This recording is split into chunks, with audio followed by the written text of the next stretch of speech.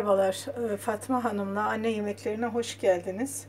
Bugün e, çok güzel bir domates kurusundan çorba tarifi paylaşmak istiyorum.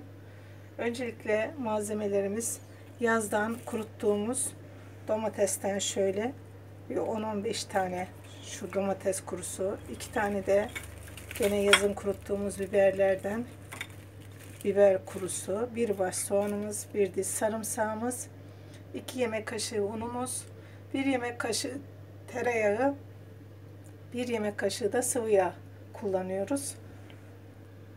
Ve birer tatlı kaşığı olacak şekilde e, domates ve biber salçası kullanıyoruz. Yeterli tuzumuz var. 1 çay kaşığı kadar karabiberimiz var. Öncelikle bu domateslerimizi ve 2 tane biberimizi bir güzel suya şöyle hafiften tutuyoruz ve tenceremize alıyoruz.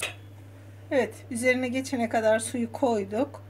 Altını yakıyoruz, kapağını kapatıp domates ve biberlerimiz yumuşayana kadar pişiriyoruz. Evet, domates kurlarımız ve biber kurlarımız şu an pişmek üzere.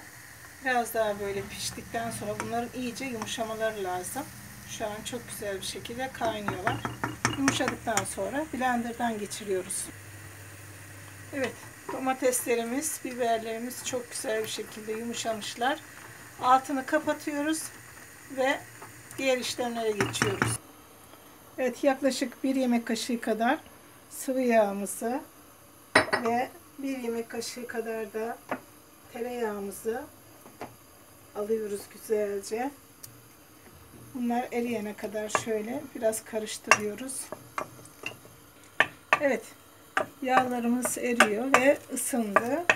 Önceden doğradığımız yemeklik soğanımızı ilave ediyoruz.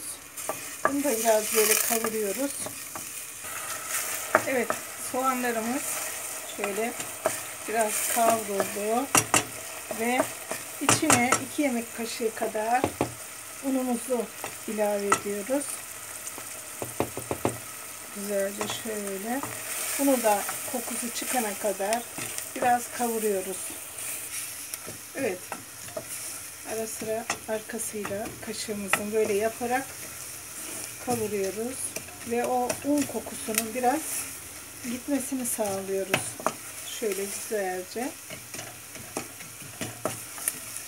Ve yaklaşık birer tatlı kaşığı olacak şekilde biber ve domates salçamızı ilave ediyoruz.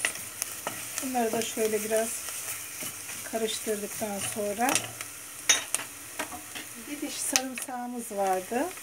Onu ister rendeleyin, ister bici bici küçük küçük doğrayın. Ve onları da içine doğradık.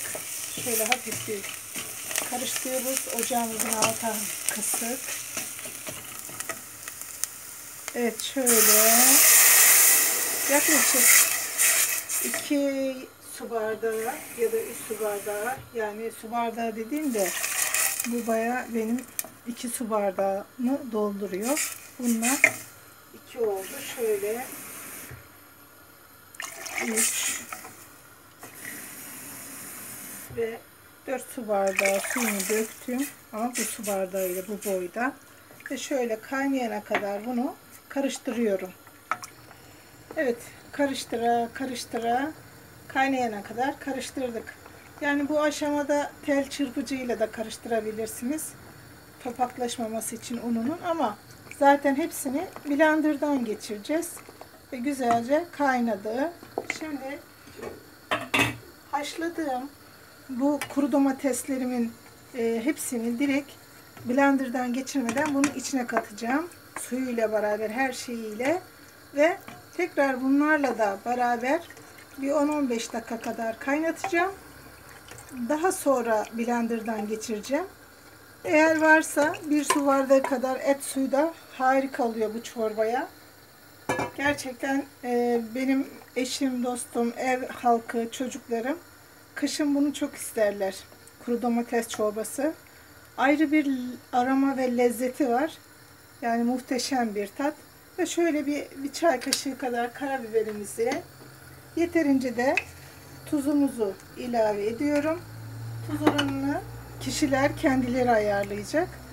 Şöyle bir alt üst karıştırdıktan sonra kapağını kapatıyorum. Bir 15-20 dakika kadar bunlarla da beraber kaynamasını sağlayacağım. Evet. Çok güzel hepsi kaynadılar. Kıvam harika. Şimdi bunu blenderdan geçireceğiz. Oca ocağımızı kapatıyoruz ve blenderdan geçiriyoruz. Evet. Böyle blenderdan geçiriyoruz. Evet. Blenderdan geçirdik. Kıvam bayağı bir biraz koyu. Ne yapıyoruz? Normalde e, krema katıyorlar domates çorbasının olmazsa olmazı. Ama ben hep yıllardır süt katıyorum. Böyle bir çay bardağı sütümüzü yavaşça ılıs bir süt oda sıcaklığında ılımış sütümüzü ilave ettim ve şöyle bir yaklaşık su bardağı sıcak su ilave edeceğim. Çünkü biraz koyu geldi. Evet şöyle bir su bardağı kadar sıcak suyumu ilave ettim ve bir 5 dakikada böyle kaynatacağım. Şu an evet gayet güzel kıvamı. Yani e, koyuluğunu kendiniz ayarlayabilirsiniz. Su oranı az çok onu sizler kendiniz göz kararı yapabilirsiniz. Ve bununla beraber 5 dakika kaynadıktan sonra çorbamız servise hazır. Evet çorbamızın kıvamı muhteşem oldu. Lezzeti de muhteşem. Ve çorbamızı servis tabağımıza alıyoruz. Çok güzel, lezzetli bir çorba. Kış aylarında gerçekten normal domates çorbasının bir 3-4 katı daha lezzetli oluyor. Tavsiye ediyorum. Şifalı ve gerçekten doyurucu. Harika bir çorba. Yanında kıtır ekmek yapabilirsiniz.